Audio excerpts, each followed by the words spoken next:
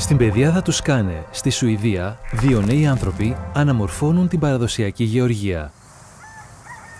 Μετέτρεψαν έναν άδειο αχυρώνα, στον οποίο κάποτε εκτρέφονταν χοιρινά, πρόβατα και αγελάδες, σε ένα ηχθειοτροφείο με την επωνυμία Gartsfisk. Αυτά τα ψάρια με τα χαρούμενα χρώματα προέρχονται από την Αφρική και σήμερα συμπεριλαμβάνονται στα πιο περιζήτητα ψάρια στην Σκάνε, καθώς προσφέρουν μια βιώσιμη εναλλακτική λύση στις συνηθισμένες ηχθειοκαλλιέργειες και στα απειλούμενα άγρια ψάρια.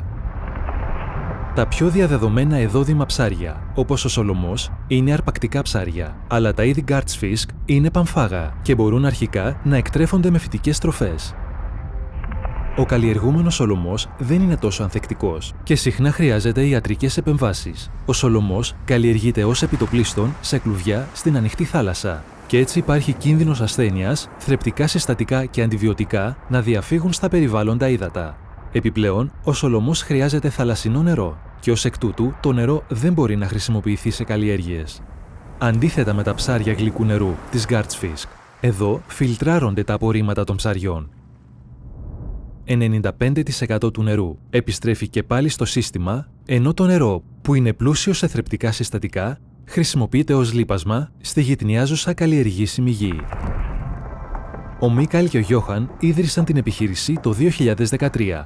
Αρχικά, χρειάστηκε να εκπονήσουν ολόκληρο σχέδιο υδατοκαλλιέργειας και γεωργίας μέσα από μια σειρά δοκιμών και λαθών.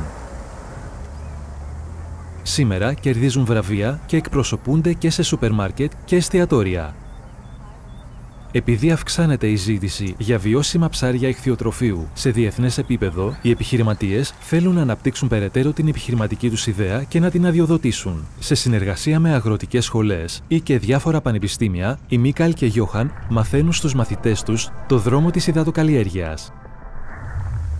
Η πρωτοποριακή επιχειρηματική ιδέα του Guards Fisk θα μπορούσε να είναι ένα μελλοντικό μοντέλο για πολλούς αγρότες στην Ευρώπη, οι οποίοι βρίσκονται αντιμέτωποι με μια κρίση στον αγροτικό τομέα.